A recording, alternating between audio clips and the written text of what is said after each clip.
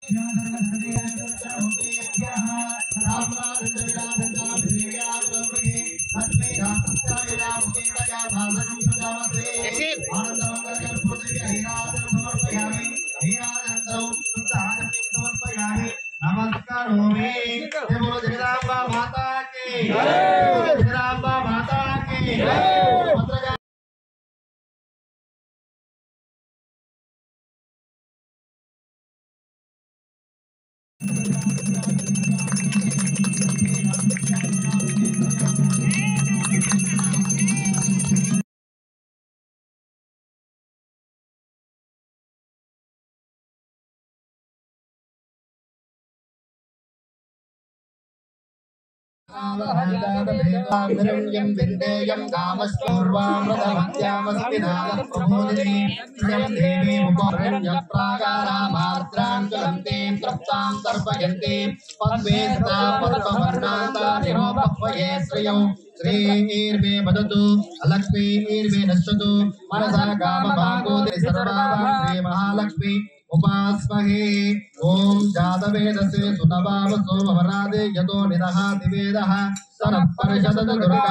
दुर्गां देवेगं शरणमहं प्रपद्ये सुतरसितरसे नमः। अग्ने त्वं पारयानव्यो अस्मान् स्वस्ति विरितु दुर्गान् विश्वाः। ओश्चा पृथिवी बहुलाना पूर्वे भवादोकायतनयाय संयोः विश्वादुरितादिवर्षे अग्ने अग्निभन्ममुदर्गां पुरुधनाचकं समानमक्रमग्निकं भुवेम परमार्थदस्ता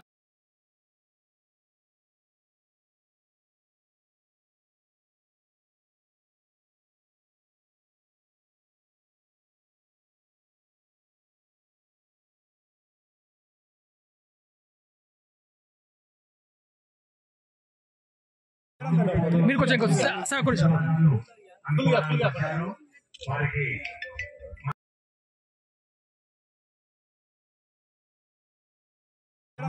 మీరు కొంచెం కొంచెం సా- సార్ కొంచెం వారికి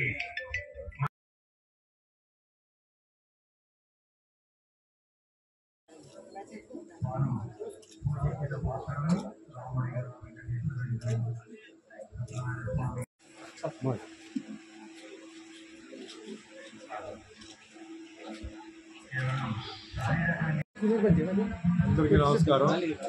సో సద్గురు శ్రీ శంకర విశ్వేశ్వరానంద స్వామి గారికి ధన్యవాదాలు నమస్కారాలు. ఈరోజు ఇక్కడికి రావడం జరిగింది. సో మేము ఎప్పటి నుంచో మరి ఆయన్ని ఫాలోవర్స్ మేము. అంటే ఈరోజు మా అభిమాని రషీద్ నెల్లూరు ఆయనకి అత్యంత ఫాలోవర్ అయితే ఇక్కడ జరిగిన విషయం సత్యం గారా? సత్యనారాయణ స్వామి. ఆయన మరి ఇక్కడ ఈ విగ్రహానికి తాత అదే మాదిరిగా ఇక్కడ స్థలం మరి ఆయనకి ఒక మిరకలు జరిగిన తర్వాత ఈ విధంగా ఆయన ఇక్కడ భద్రకాళి అమ్మవారికి స్టాచ్యూ పెట్టాలని ఆయన నిర్ణయం చేసుకున్నారు. సో ఈరోజు ఇక్కడ అంటే నవరాత్రులు జరుగుతున్నాయి కాబట్టి ఈరోజు మంచి రోజు బతుకమ్మ కూడా ఈరోజు ఉంది కాబట్టి మరి తెలంగాణలో మరి ఈరోజు ప్రారంభం ఈరోజు చేయడం జరిగింది. ఈరోజు చాలా ప్రోగ్రామ్స్ నాకు ఉంది ఆయన ఇక్కడికి రావాలన్నప్పుడు వాళ్ళ మీద ఉన్న ప్రేమ అభిమానం నమ్మకంతో వచ్చానండి సో నాకు ఒకటే అండి నేను ఎప్పుడు చెప్తుంటాను. ఈరోజు చాలా విషయాలు జరుగుతున్నాయి. మీకు అందరికీ తెలుసు సనాతన ధర్మ గురించి అక్కడ తిరుమలలో ఆ, గురించి జరుగుతున్నాయి. సరే ఏది ఏమైనా ఇవన్నీ ఏంటంటే తిరుపతి లడ్డు గురించి ఏంటంటే ఇప్పుడు విచారణ జరుగుతున్నాయి. సిబిఐ పెట్టారు. చాలా సంతోషం. సరే అది ఎంత రిజల్ట్ వచ్చిన తర్వాత ఎవరు దొంగ ఎవరు దీనికి ఇన్వాల్వ్ అయి ఉన్నారు ఎవరు నిర్లక్ష్యంగా ఉన్నారు అనేది తర్వాత తెలుస్తుంది. అయితే నేను ఒక హిందూ అయినప్పటికీ నాకేంటంటే ముస్లిమ్స్ క్రిస్టియన్స్ సిక్ పార్సీ వీళ్ళందరూ నాకు కావాలి. ఎందుకంటే సినిమా ఫీల్డ్కు రావడానికి ముందు కూడా నాకు ఏంటంటే చెన్నైలో పుట్టి పెరిగాను. అక్కడ మా నైబర్స్ పక్క వాళ్ళు ముస్లిమ్స్. సో నేను ముస్లిం వాతావరణంలో నేను పెరిగాను. నాకు వాళ్ళు ఫుడ్ పంపడం మా అమ్మగారు కాలేజ్ ప్రిన్సిపల్ నాన్నగారు ఇండియన్ కార్పొరేషన్లో ఒక మేనేజర్ ఉండేవారు. వాళ్ళందరూ ఊరు వెళ్ళిపోతే నేను వాళ్ళ ఇంట్లోనే పెరిగాను. అలాగే ఒక క్రిస్టియన్ స్కూల్లోనే నేను చదివింది. కాబట్టి నాకు అందరు కావాలి. సరే ఒక హిందూగా నేను నా మతాన్ని నేను గౌరవిస్తున్నాను. నా మతానికి ఎవరైనా కించపరిస్తే లేకపోతే ఏదైనా చేస్తే మా తల్లిదండ్రులు కించపరిచినట్టు.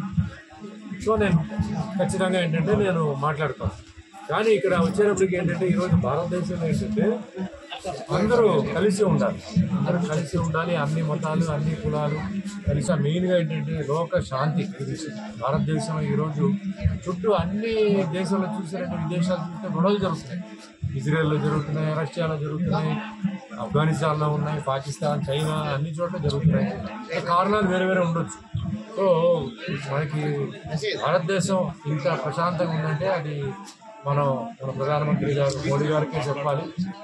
ఎలక్షన్లో ఎలాంటి రిజల్ట్ వచ్చినా కూడా అందరూ భద్రతగా ఉండాలి దేశం భద్రతగా ఉండాలి అని చూస్తారు. ఎందుకంటే అసలు ఆ, పాకిస్తాన్ చైనా నుంచి బాంబు వేసినప్పుడు ఓన్లీ హిందువులే పోవాలి కాదు కదా. ఇది ఎవరు అక్కడ ఎక్కడ పడుతుందో అక్కడ ఎవరు ఉంటారో మొత్తం పోతారు. అలా పడకుండా అని ఇప్పుడు వరకు కాపాడుకొని వస్తున్నారంటే సైనికులు అదే మాదిరిగా ప్రధాని మోడీ గారు.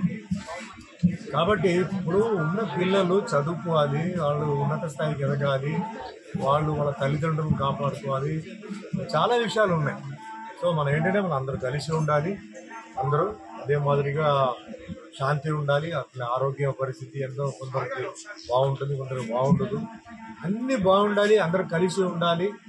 అందరూ ఉన్నత స్థాయికి ఎదగాలి అందరూ బాగుండాలి అని చెప్పి మా ఇప్పుడు పూజలు కానీ ఏదైనా ఉన్నా కూడా మేము ఆ ఉద్దేశంతో చేస్తున్నాం.